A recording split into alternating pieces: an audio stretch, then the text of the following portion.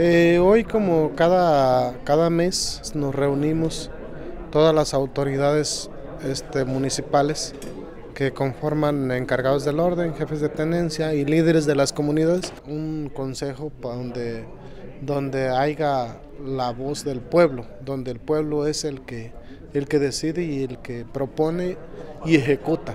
Hay una mayoría a favor del encargado y hay una minoría queriendo quitarlo, no se puede tampoco. Debe ser una mayoría, que la mayoría mande en la comunidad y se, se hace en el momento que la gente lo disponga.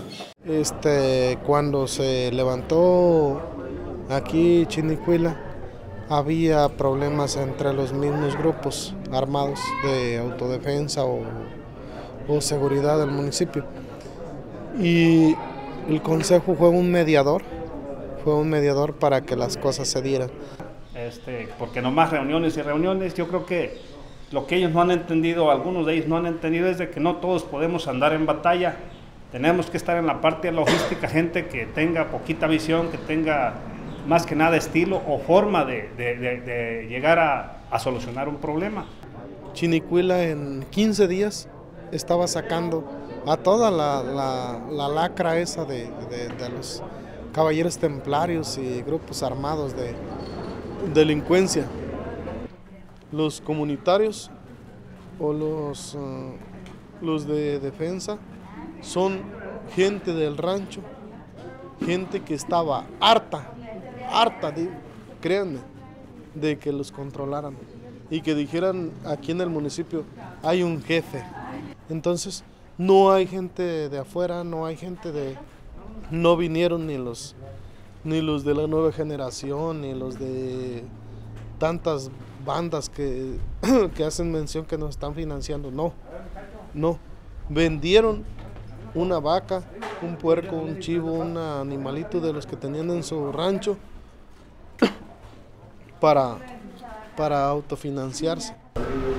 12 o 15 gentes, armadas hasta los dientes, y el muchachito con 19 años encima y una escopeta al hombro.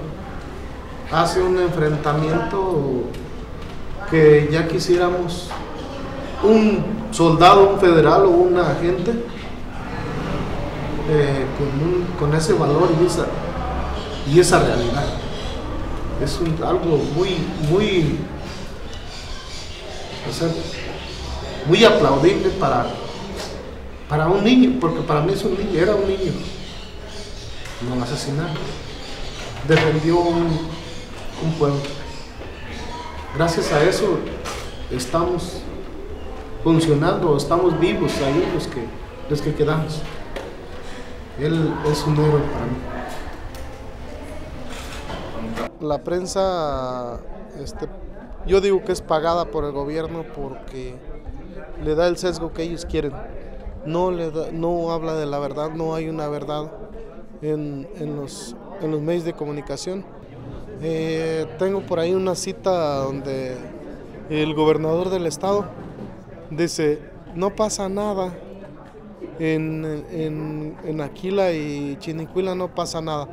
Cuando acá se estaban matando o estaban liberándose de, de los grupos armados, de, de, este, de los sicarios, nos han partido la madre prácticamente porque transforman, hacen lo que no deberían de hacer, decir lo que no existe.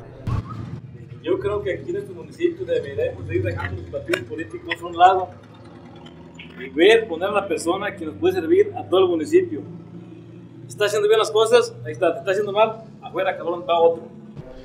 Han, desde un inicio yo creo que al gobierno no le conviene que el pueblo se organice. Entonces han querido eliminar, han querido de muchas razones ejecutar al, o darle un, último golpe a, esta organización. Más sin embargo ha prevalecido desde hace 10, más de 10 años. Este, tres administraciones para ser exactos. Y aquí estamos, aquí estamos funcionando y, y, fungiendo como Consejo Popular. Antes se hacían lo que eran, le llamaban este, líderes, pero no eran falsos líderes. Hoy realmente se están haciendo los líderes de las comunidades, emanados de allá y, propuestos de la comunidad. Son, son los que vienen aquí a, presenciar y a, proponer lo que es un, una, este, un desarrollo para el, para el municipio. No necesitamos un gobierno ni estatal, ni federal, ni municipal. Nos bastamos nosotros y somos auto a lo mejor le llaman autodefensa, pero no, somos la seguridad de nuestro pueblo. Si ahorita desarmaran al municipio de Chinicuila, nos asesinan. Sería una forma de asesinar a un pueblo.